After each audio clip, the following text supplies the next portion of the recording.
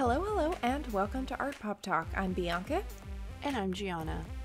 Well, Gianna, happy Women's History Month. I know we talk about ladies a lot on this show, but now that we're in March, it really makes much more of a statement, don't you think? I couldn't agree more. You know, I think that we should only talk about women in the month of March. right, totally. Well, given that we are in extra special Lady Month, we're going to do what we do best and talk about all of the gals celebrating International Women's Day. We're going to talk about some of our favorite women of art history. All right, let's get started. Hey, lady, what's the tea? What's the hot goss this week? Got anything new for me since I talked to you yesterday? No, I really don't. I'm sorry. Um, not much is going on. It's just, you know, pot all night, work all day, and I'll get to see you in a week. and that's oh what we'll gosh. celebrate. Oh my gosh, I am so excited. This past week has truly flown by, and I really hope that this next week just moves even quicker. I'm so looking forward to spring break if the art Pop Tarts don't know, which I don't know that we've talked about it too much, I am so excited to be able to drive home for spring break. So it's going to be really exciting. Yeah. That's all you got for me. That's all you got for me today. Yeah. cool. I like it. I like it. Well, on that note, I mean, should we just jump right in and go to some art news? Oh, you know I love some good art news. Let's do it.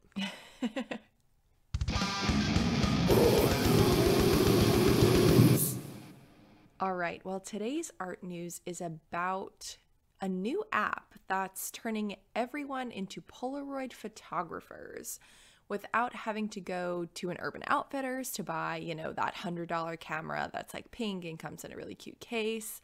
I came across this new app called Dispo in a Facebook group that I'm in. And the caption was something along the lines of like if anyone was on Dispo and wanted to do like a follow train in this Facebook group I'm in. And I was like, oh my gosh, man, like this is another app that APT is going to have to get on and post in, and I, we're going to have to manage this thing. But when I downloaded the app, I had to join a wait list, and I was just very confused about what Dispo was. So essentially, the app launched on February 19th in beta testing and it became the fourth most downloaded app in the App Store. And because of that, it generated a ton of investor interest. This app now exceeds $20 million in investment and is valued at 200 million. So like what the hell? Where are all these like investors coming from? We need one for APT stat. So, this app is intended to act as a disposable camera, and it allows you to take these kind of Polaroid esque photos that aren't even immediately available but can be viewed the following day. There are no edits, no filters, and there are no captions, but people can like and they can comment on your rolls, which are kind of, as I understand it, basically your feed of images. In a New York Times interview, David Dobrik, interessant, who is the creator of Dispo, explained that he purposefully limited the options. So the purpose is to bring the user closer to the experience of using a disposable camera like the ones of yore, cameras of yore. So, Gianna, I'm wondering what do we think about Dispo? You're cracking up. This reminds me of like the Gen Z kids who are now buying Razr phones because they're vintage. I can't with the Razr phones. Like, please stop buying Razr phones. I want a Razr phone because I never had a pink Razr when they were like cool. And like they're still cool, but isn't there a new Razr? Yes, no, Motorola Motorola Motorola Motorola is making a Razr phone with a touch screen that bends in half. It's really interesting, but people uh-huh. are buying the actual old Razr phones because right. of the aesthetic of them and people are buying like burner phones and bedazzling them and like only texting their like bff with them which is so cute like i love that journey for you but also just buy disposable camera i don't know Oh, okay. i think it's an interesting idea for me it's just another thing to keep up with on the Mm-hmm. internet which we all know how i feel about that I don't know, but I something the other day actually happened that was very interesting to me because I have heard for a while that Instagram has been thinking about limiting its feature. oh, right. I forgot you told me this. Yeah, to see and uh, limit how many likes a photo gets. And the other day I was logging onto my Instagram and my likes went away on my mm-hmm. feed and on my page as well. So I was like, oh my gosh, it's happening. Uh, because I know that they have started doing that in other countries. But since I have like four other Instagram accounts for Art Pop Talk and for my mm-hmm. personal, right. and I do social media for our other sister as well, all of that was popping up on these other accounts. It was just mine. And so I had limited access to seeing how many likes I had for about like three days. And now all of a sudden it's back. Interesting. It is very interesting. So I don't really know what to make of that. I don't know, but I think just in talking about kind of the limited features on Dispo, Mm-hmm. I mean that has just been something Instagram has been talking for talking about for a while. So Yeah. I think it was only a matter of time another app kind of came into play that was just about the photo experience. Mm-hmm. Um, yeah, so I don't know. It's definitely interesting. I, I do think a lot of people are using it and are going to continue to use it. Mhm. Um, but I think, like any social media app, I am always late to the trend and it'll take me a very long time to ease up into downloading a new social media feature. Yeah. I like that. I think it's I think first of all, I would be totally okay with Instagram taking away the a capability to see the number of likes on other people's profiles. So it's my understanding that on Instagram, you yourself can see how many people liked your photo, but you can't see it anywhere else, and no one else can see how many likes you receive. And I think Dispo seems kind of cool. I think that I really like the premise of it that it's kind of art for art's sake and just kind of sharing like almost what you would on your Instagram story. Like it's not mm-hmm. it, it's not always super catered unless you're like an ins- influencer or something like that. Mm-hmm. But I will say that I I did start a Dispo account for APT and I think it would be really cool to kind of just post snapshots on what we're doing like kind of art unexpectedly that we encounter in our everyday lives. I think it's an interesting way to kind of curate either purposely or very spontaneously a Yeah. series of photos. Yeah. But I'm on a wait list, so we'll we'll keep you guys posted when We're on a wait list for it. Yeah, cuz they're in beta testing still. So it's not fully functioning. So ah. only some people were able to join Dispo right away. Interesting. But I did start us an account. Hmm. Let's just Another get thing to look forward to. camera. Like, You have one. You could use your real disposable camera from Urban Outfitters and I could use Dispo. yeah, but a disposable camera is different from a Polaroid. Oh, I see what you mean. You have a Polaroid camera. Yeah. Yeah, I see what you mean. Like, do you remember the days of? Do you re- like Bianca? Do you remember like when you got your camera and you got a waterproof camera? And I I, got was a so waterproof jealous, camera. and it was like Yeah. this whole big thing that you got a camera. Yeah. Definitely. No, I And, like, we have some camera. It really- green. Yes, it was green. Like we have some really good cringy like middle school photos of you being hot shit Oh, with your lime sure. green waterproof camera. oh yeah. Those were Those the were the days. Yeah. No, I think that I'm a person that still really enjoys printing out photos though. mm-hmm. So I use the app Free Prints and I just send photos from my phone to Free Prints Mm-hmm. using their app and I get them shipped to my house. Mm-hmm. And I still really like that. I still really like the feeling of going through physical photos. Well, I remember getting like waterproof disposable cameras. Oh like, yeah. I, I am here for the actual disposable camera. And like a lot of people are getting back into using film and yeah. so I, I guess it's just like a natural progression of social media. Like w- in talking about it, it all makes sense. But Uh-huh. Well, I I- think I it's don't also know. the same thing that's happened with music, for example. You know, the return to vinyl and the return to kind of yeah, yeah. tapes and things like that. Yeah. So I'm not surprised that this occurrence is taking place with Yeah. your cell phone. in a weird way, but different way. I mean, it's obviously different. I'm getting like Vine vibes. Like I, I don't know how long it's gonna last. Oh, interesting. Yeah, I guess we'll find out. Yeah. Dun, dun, dun. Alrighty, friends. Today's art pop talk is all about celebrating International Women's Day, which was March 8th. But you got the whole month of March to listen to this episode before it doesn't count anymore. so, Gianna and I are each going to talk about a few of our favorite ladies of the arts. But before we do, Gianna, I want to know if you could go to a Judy Chicago inspired type of dinner party and you had to invite five ladies, dead or alive, that we have not talked about on the show before, who would they be? Because as much as I love her, I just feel like we can't keep giving Gaga the unfair advantage here. Yeah, she already has a seat at the table. Truly. Um, so yes, definitely have a couple.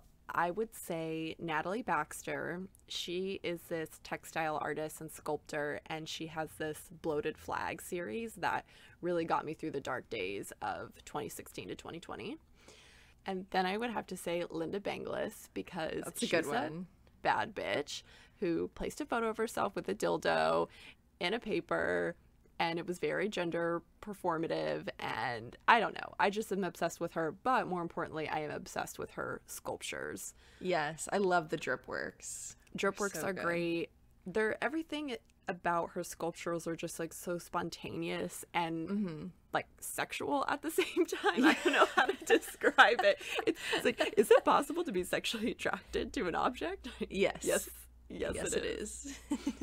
Um, and then I would have to say Rebecca Belmore. She is a mixed media and performance artist. The agency of the female body in her work is very politically and socially conscious, but the use of her body in her performative work is also so laborious and ritualistic. mm-hmm. In a lot of ways, it reminds me of Abramović's work in putting the Mhm. body through extreme scenarios, but she just speaks to abuse and discrepancies that predominantly Indigenous women are afflicted by. Mm-hmm. And then I would also have to say Zoe Buckman. That might be a little bit of a cheat because I can't remember if I have talked about her or not. because I I- do have a tendency to talk about her quite a bit. I feel I feel like we may have just briefly mentioned her, but I'll, I'll let it slide because Yeah. she's fantastic. Yeah, she just is a huge inspiration to me and just talking about the consumer world from a female perspective.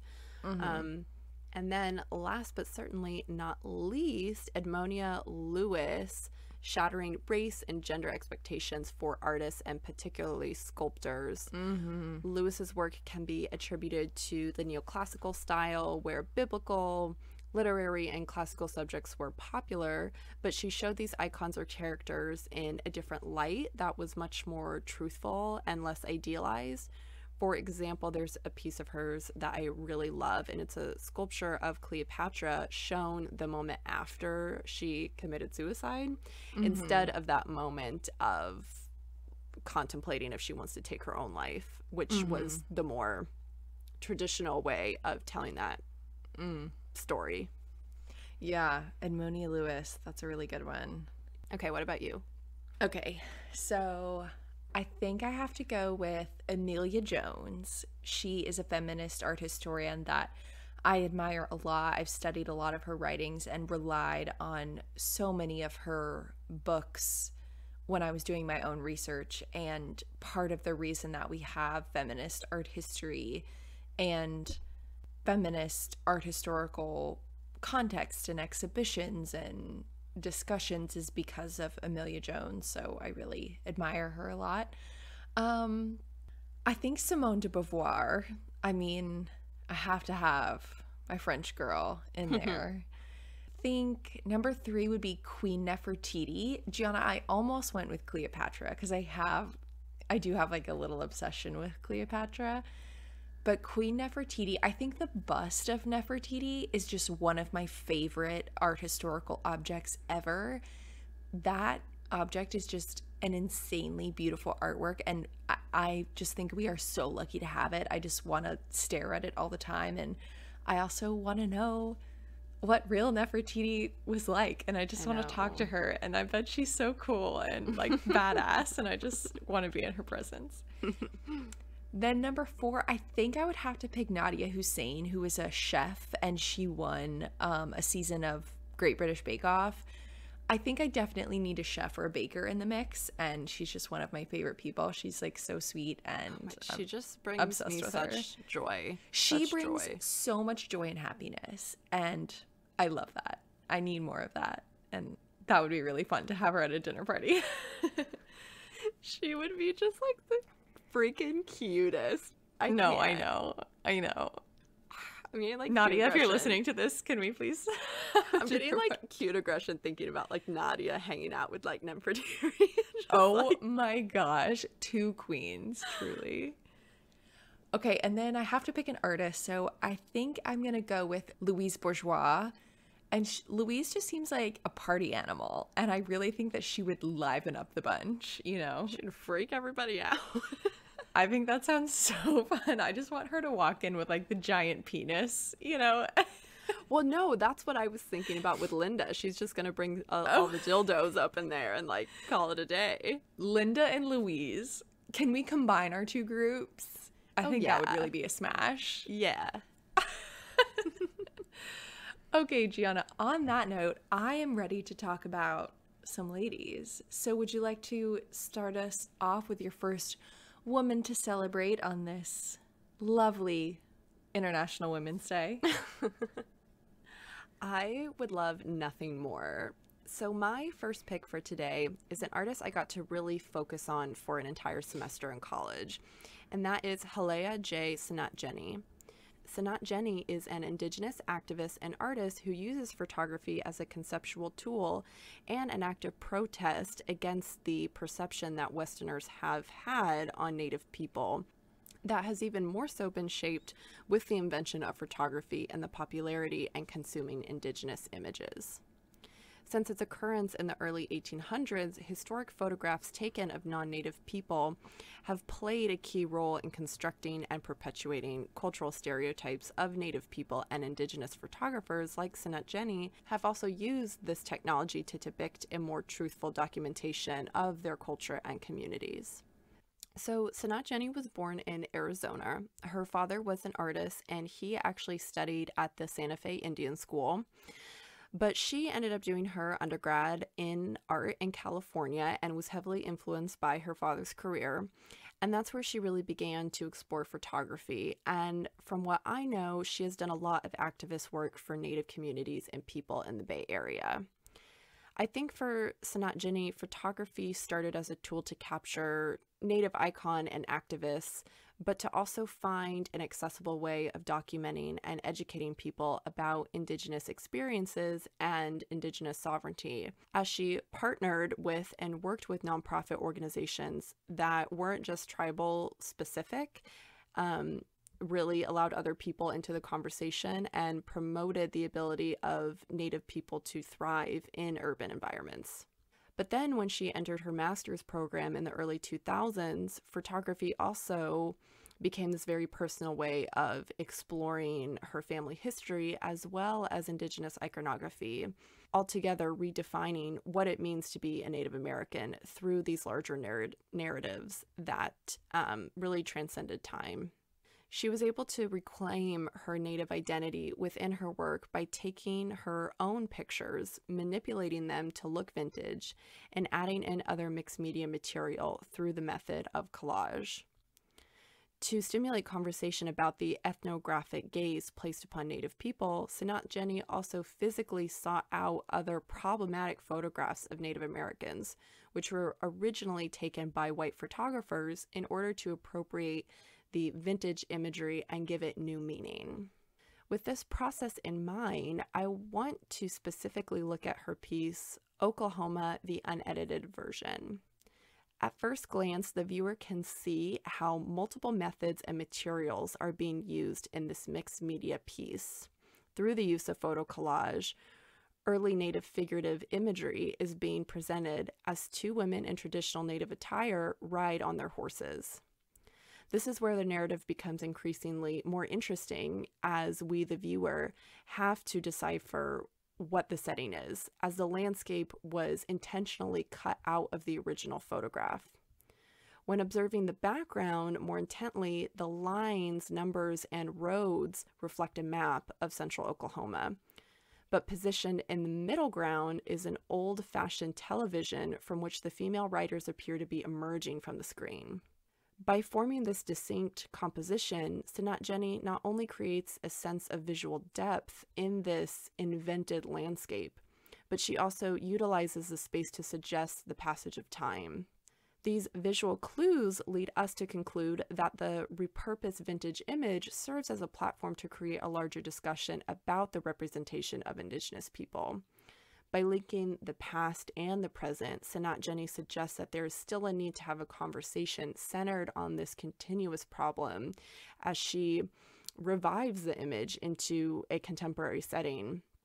When specifically relating this process, you know, just back to this specific image, Tsinhnahjinnie has chosen to use this image so she can transport the Oklahoma women from their original context. In doing so, she fragments time by surrounding the native writers in the new setting of the roadmap, which then is able to bring the figures into a modern context. Tsinhnahjinnie speaks to this method as creating segmented moments in time in which the memory of the women will be brought back to life now from an indigenous understanding instead of a Western perspective. So, when using this new lens to display this old image, Native audiences will be able to connect to this theme of reclamation.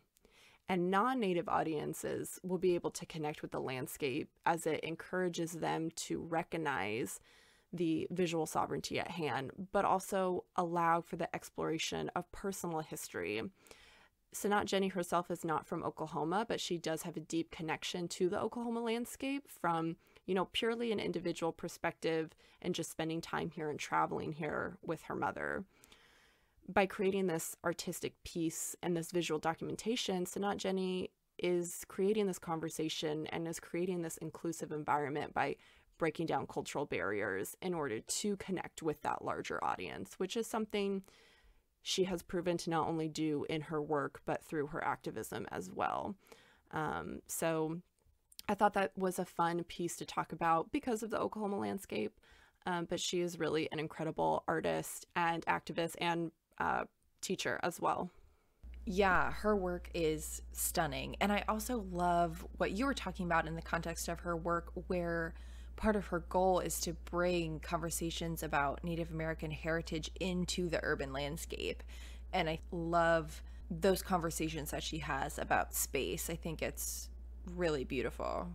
Yeah, and I think it'll be interesting as we progress. A lot of the artists that we're looking at today use photography, use language, yeah. mm-hmm. and there's a mm-hmm. little bit of that in in all of the artists that we talk about today in all of these works. And language and place identity is all so tightly rooted together, and and that's all coming from this extremely personal place from all these artists. So yeah, I think that actually, leads us Oh, that was perfect, Gianna. Ha ha ha. Clever I'm girl. for the next one.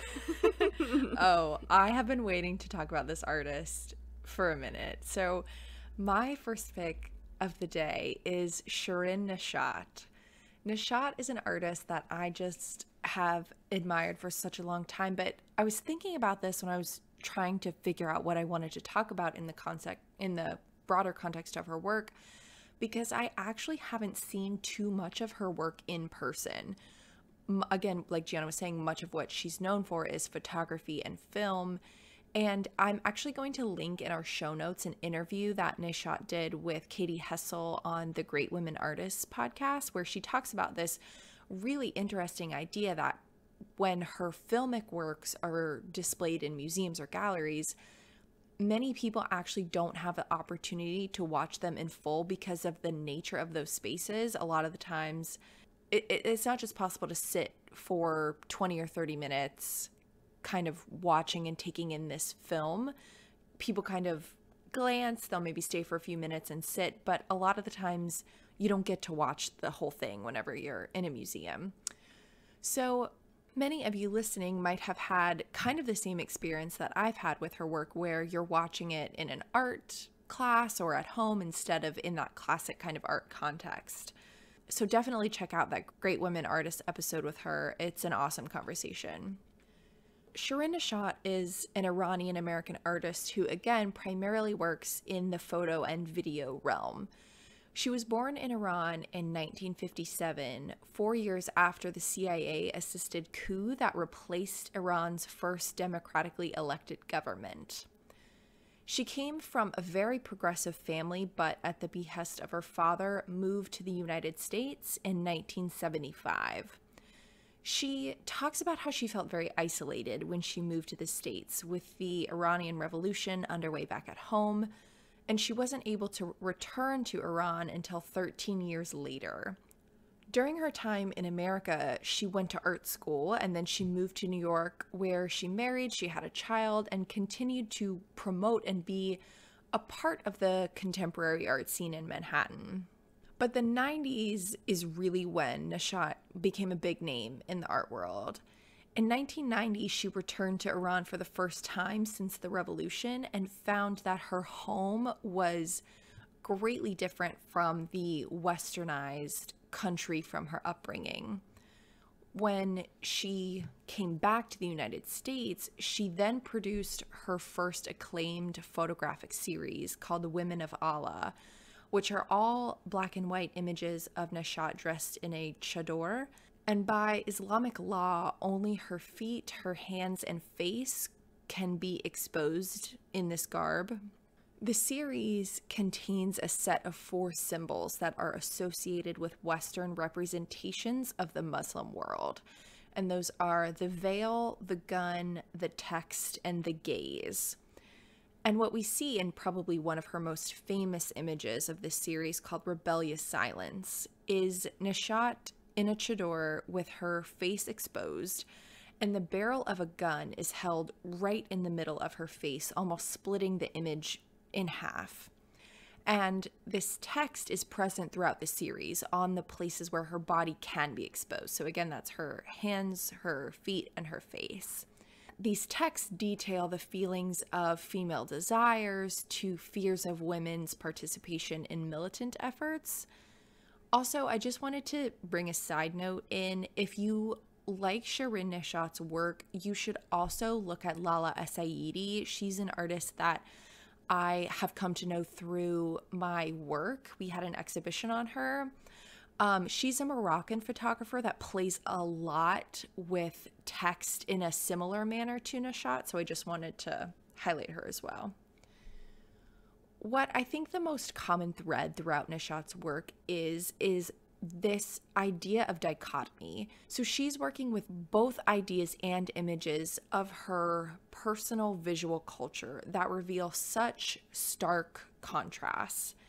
East and West, men and women, public private, masculine feminine, modernity versus antiquity. And a smart history article reads that many of these symbols used in her work have taken on a particular charge since 9 11, even though a lot of her works were obviously created before 9 11.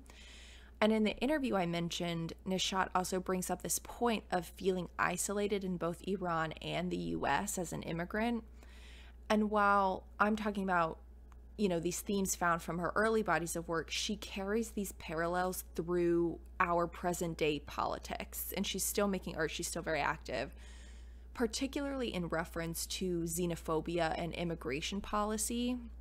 And her films are really just so amazing. So before I move on with Gianna's next choice, I do want all of you to watch her film Fervor from 2000. That's probably the one that many of you, if, if you've taken an art class, have probably seen. But Fervor is truly amazing. It's really a fantastic piece to sit and watch, and it exhibits all of those details, all of those ideas of contrast so clearly. So I, I would definitely recommend that just to kind of recap your little synopsis there at the end in these photographs from this particular series that idea of just the isolation that she has captured mm-hmm. within these photographs is so interestingly portrayed as it's also just confrontational with those other conflicting symbols that are going on and you are also confronting her in especially this particular photo with the gaze um, mm-hmm, mm-hmm. Yeah, the gaze is, is a really great point, Gianna. Yeah. All right, well, let's move on to artist number three, shall we? the next artist I would like to talk about is Juliana Huxtable because you know we stand a Juliana on APT. oh my goodness. Um, but Juliana Huxtable was born intersex and grew up in a very uh, conservative Baptist home in Texas, uh, born in 1987. She attended Bard College in New York, where she studied art, gender studies, and human rights. In her work, Huxtable explores the intersections of race, gender, queerness, and identity. And she uses a diverse set of means to engage these issues, including self portraiture, text, performance, and then talking about physical realities and digital realities. Huxtable, much like her concepts, her process is very fluid and experimental and also very vast. As she explores interdisciplinary practices from the visual and written and audible language and ways of communicating, where she critiques existing social norms while providing tr- a, a truthful and a transparent and alternative and even hopeful possibilities at times. Mm. Not only is Huxtable an artist, she is also a writer, a performer, she's a DJ, and she is a co founder of the New York based nightlife project Shock Value, which is a weekly New York City based nightlife collective run by female creatives. Huxtable's multidisciplinary art practice explores a number of concepts ranging from the internet, the body, often through a process she calls conditioning, which I think is best explained as the exploration of self and imagination, whether through her literary works, her poems, or her visual images that can be contextualized within a historic past, a contemporary setting, and in future realities. Huxtable, being a woman and being born intersex, commonly inserts her body into multiple and highly saturated, photographed, and I would even say surrealist environments, where she commonly constructs human and animalistic hybrids that speak to the fluidity of gender and sexuality in creating these very digitally enhanced and stylized beings, or as I even saw them being described as avatars. With the merging of the two art forms, art and text, some of her works that visually read as or act like a graphic poster are really rooted in a larger history of protest and protest art. The process of writing, like some of the artists we're looking at today, I think is essential in how Huxtable explores the capabilities of the body that moves beyond how we see bodies interacting and behaving and existing and what is and isn't normalized. And I think th- for Huxtable, there's something that language can do for her that not just a visual can. If you have listened to some of the conversations we have had on APT, we have talked about the aesthetics of different forms of protest and works of art attributed to different types of activism, and how those aesthetics have come to be through collective movements and mobilizations. In listening to an interview with Huxtable that she did with Artforum, she finds the history of the aesthetics of protests very interesting because, in terms of her art and what she communicates about her experiences, she is continually challenging and exploring what, quote, radical protests look like, what a radical body looks like, perhaps. And this also lends itself very well to concepts of futurism and posthumanism. Other aspects of her work involve how we learn and how we absorb history, how that is manifested through cyberspace and the internet. And so there's this merging of cyber realities and history all kind of manifesting together in this fantasy like setting where she casts herself in and she also creates for us. To kind of tie back into this idea of text, I wanted to end on a quote. Huxtable states, I wrote a lot of the text that I've used in my art, but I also found a lot of texts that I repurpose, comments on YouTube, videos about the destruction of Black families, and a quote from conservatives' right wing radio talking about the infiltration of trans people, for instance. That's one of the things that excites me about text. It's slippery, but you can try and condition the space in which that slippage occurs. I would like to think that my practice is about conditioning a productive space for thinking and processing. So you're getting spontaneous fragments and they're setting in different ways. Oh, wow. That's a really, really powerful quote. I think that's really cool. I also want to go to this collective that she runs um, yeah, in New York. It sounds cool I need to go ASAP. So it just it looks really fun. Her work carries a lot of depth, but I'm also just really attracted to it aesthetically. I think there's something you were talking about posthumanism um, a little bit, Gianna, and that that idea of avatar avatars is really interesting. But mm-hmm. I think mm-hmm. there's something almost related to the idea of the well, uncanny about this work as well. Well, I think in a lot of her work, there is that shock value to it. And I think that she explores the bodies in ways that people are afraid to. And she does that through perhaps confrontational topics. I mean, she definitely talks about subjects um, through her sexuality, and she uses visuals that include things like bestiality into a conversation. But also, we could talk about bestiality and how that plays into such a large history of art. And, um, you know, so using your body and politicizing your body is such a powerful thing. Yeah, her work is just so saturated and beautiful. And she does create these very um, fantasized like environments. And uh, there's this one in particular that I'm looking at right now in front of me where she is standing on this leopard couch and when she talks about how she stylized some some of her images, this this stylization is very important because there's so many layers to her photographs. There's a lot of FX makeup going on, but there's also a lot of digital drawing on top of that as well.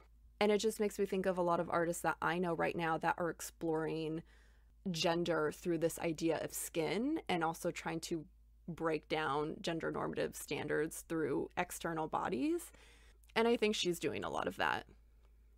Moving on, my next woman is someone that we have briefly mentioned on the show before. She's not necessarily an artist, but is a historical figure that we absolutely know from art history specifically. I am talking about Empress Theodora.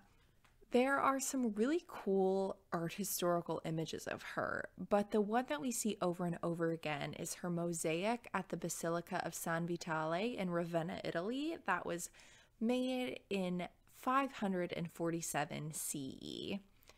Theodora was the wife of Emperor Justinian I, and in the basilica, we get these two mosaic panels one featuring Justinian and the other featuring Theodora and her attendants. Theodora was most likely born in the year 500 in Crete or Syria and died in 548 in or around Constantinople. She was one of the most powerful women in Byzantine history. She was born into the lowest class of Byzantine society, but eventually advanced to rule over the entire Byzantine Empire equally with her husband. She grew up on the outskirts of the Byzantine Empire with a father who was an animal trainer. After his death, Theodora became an actress to support the family. And during this time, the profession of being an actress was considered quite scandalous. Being an actress was synonymous with being a prostitute. And I believe that some scholars have argued that she could have been a prostitute. And I think this is sort of that similar idea that we see with, um, for example, the French ballet dancers in Impressionist works of the late 1800s, where they are working professionals but are also known for kind of taking gentleman collars as well. So Theodora climbed these classist ranks of her society, and when she was 16, she discovered and adopted Christian ideology and converted and renounced her former career and lifestyle. Theodora met Justinian I in 522, who was at that time Justinian was heir to the throne. He wanted to wed her, but as heir, he was forbidden to marry someone of her status, let alone a woman of a performative profession like being an actress, despite her recent reformation. Justinian had this law repealed the following year, however, and the two were married in 525. Theodora and Justinian were known for ruling as intellectual and political equals, and Theodora was responsible for much of the reformation of Byzantium. She had a large role in erecting the basilica that I mentioned earlier, which again depicts both the emperor and the empress participating in an imperial procession. And this signifies her equal role and importance in ruling the empire. Also, not to mention that they're displayed on the same level yes. in the same foreground because perspective is a super big thing oh, even though yes, it's not realistic um, but it, it's that visual hierarchy and they're at the same level yeah for sure in 532 religious unrest unfolded and caused the famous nika riots which actually gianna i know you have an episode in the works for nika riots basically why we have sports is because of these riots. Literally versus like the team blue versus team orange. It's literally shit like that. That's why we have sports. You're welcome. so expect an episode on Nika riots later on. As a result, much of Constantinople was destroyed, and many saw this as a chance to overthrow Justinian, who actually wished to flee the empire. Instead, badass Queen Theodora was like, mm, no, we're not going to flee. And she preferred to die a ruler than to be removed from the revolt. Theodora and Justinian, because of Theodora, confronted the destruction of important monuments in Constantinople, including the original Hagia Sophia, and the couple rebuilt the basilica, which was rededicated in 537. During her time as empress, Theodora also fought for the persecuted. She attended to the rights of prostitutes in particular by closing brothels. She created protective safe houses and she passed laws to prohibit forced prostitution. In addition, she passed laws that expanded the rights of women in divorce cases. Okay, and abolished a law that had allowed women to be killed for committing adultery. She also built houses of worship that served as places of refuge. Truly amazing. Theodora is also featured at a play setting in Judy Chicago's The Dinner Party. And a lot of the information I shared with you can be found through resources at the Sackler Center for Feminist Art on their website, also, in 2013, Dolce & Gabbana released a line that references the golden mosaics of Sicily's Cathedral of Monreale as a starting point for their fall collection that year, but there's some specific visuals and comparisons to Theodora's mosaics that are stunning on these garments, and it's very kind of heavenly bodies like Met Gala esque. But we'll we'll put some images on our Instagram and our resources page. But I just I love this dress, this Dolce & Gabbana dress so much. It's it's stunning and the crown and the earrings, I just it's so beautiful. Did nobody wear this outfit to the Met Gala? Like what a missed opportunity. Yeah, but I think also wait, no, cuz if I was going to the Met Gala, I would have someone else design me like a whole new Theodora wardrobe. Also, yeah, I guess. I mean, like Heavenly Bodies, I think is a little bit different than Theodora's garb yeah, because the right. the Dolce and Gabbana gowns reference like mosaics and the tesserae. Tesserae are little pieces that Mm-hmm. make up the mosaic, and so I think they are specifically specifically referencing the craft of these mosaics. So, but I I see I see your point. I just but think it's that still just so oh like also to point royal and ethereal and fucking gorgeous. And like she's wearing a goddamn crown. No, the models, all of the models on the runway, I think were wearing crowns. But also, Gian, I need to point out that this is Dolce & Gabbana's ready to wear line for fall 2013, and I don't think that the celebs at the Met Gala would be like in ready to wear Dolce & Gabbana. Yeah, hard pass. yeah, same. I would totally like pass As up a this celebrity gown. myself, mm, I totally get that. And is it just me, or does PA Audrey Kaminsky have a Theodora dress that she wears sometimes? Because I feel like she has a dress with Empress Theodora on it. No, it's not a dress. It's like a flowy shirt thing. Or maybe it is a long dress. I know what you're talking about. Do you know what I'm talking about? I know what you're talking about. She totally does. We need to have her send us a picture so we can post it. Poor Audrey, she's gonna be like driving in the car listening to this. Like, what do you want from me? Okay, well, I think we probably have time for one more lady today, Gianna. What do you think? oh yeah, always, always time for one more lady. There's always room for more. All right, well, the last spectacular woman that I am talking about today is, again, one of my favorites. this is Megumi Igarashi, or better known under the pseudonym Rokudenashiko. And this pseudonym is roughly translated to, quote, good for nothing in Japanese. Rokudenashiko is a Japanese sculptor and manga artist born in 1972 that considers it her mission to, quote, demystify female genitalia in Japan, where she believes that they are overly hidden in comparison to phallic imagery. She is known in Japan as the vagina artist. Love to Goals. see it. Much of her work stems from her questioning the penis's privileged place in Japanese culture. In Japan, the Shinto Kanamara Matsuri, or Festival of the Steel Phallus, is held each spring in Kawasaki, Japan, and I really need to go. I know that it's problematic, but I really also want to go to this festival. the phallus is the central theme of the event and is created in displays and illustrations. You can get candy, there are carved vegetables, there are decorations, and there's a parade all about the phallus. The Kanamara Matsuri is centered on a local penis venerating shrine. The legend is that a jealous, sharp toothed demon hid inside of the vagina of a young woman, vagina dentata esque, if you will. If you want to listen to one of our Halloween episodes, like, hmm, sounds familiar. sounds very familiar.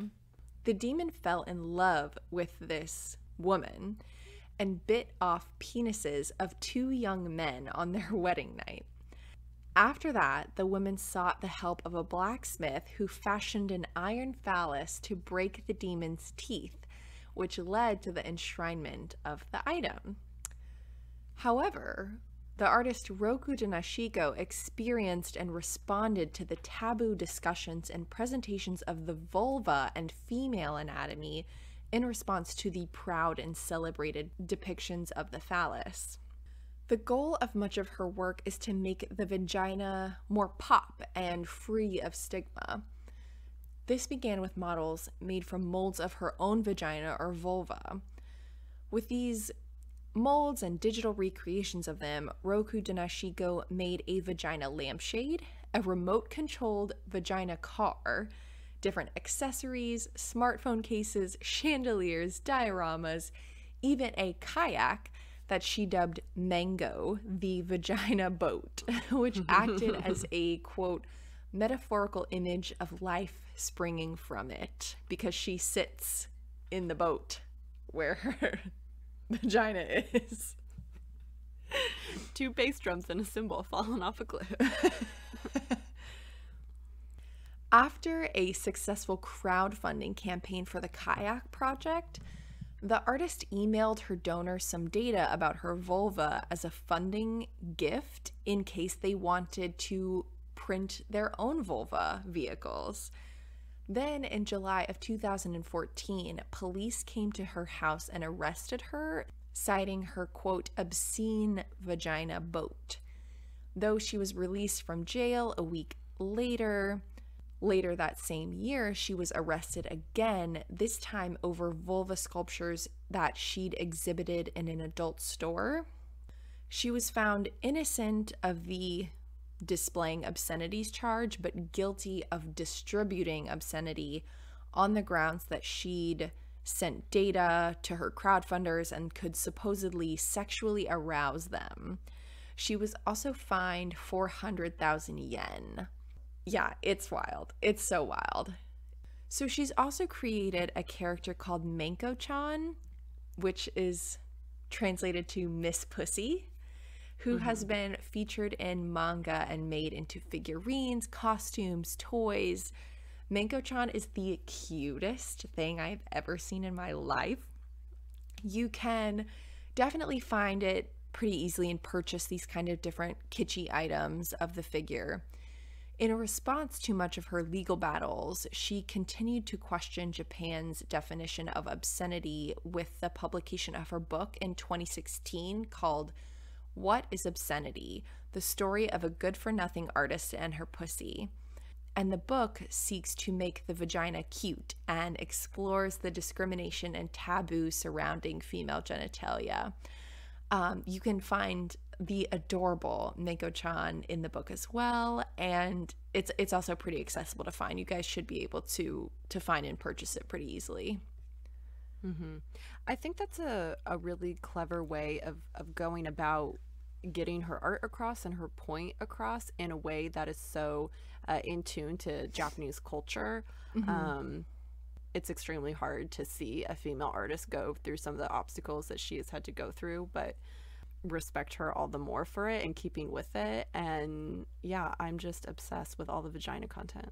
Oh, I know. It's so cute. I'm looking at Manko chan right now and she's just adorable. I just want to like hug her. She's so cute. Yeah. I want to see this next to like a Judy goddess figure and I want them to hang out yeah. at their own dinner party for International Women's Day. All of the art of vulvas just needs to come to maybe we could curate that exhibition. I literally have sitting above me on my shelf as we speak an aluminum casted vulva that has a very decorative floral pattern to it, just like Manko chan does and I think they need to hang out. Oh, I agree. it's like we're playing with toys. Like I'm imagining like like a grown up version of Toy Story where there's all these like full of toys that are like, like adult toys. It's all these adult toys.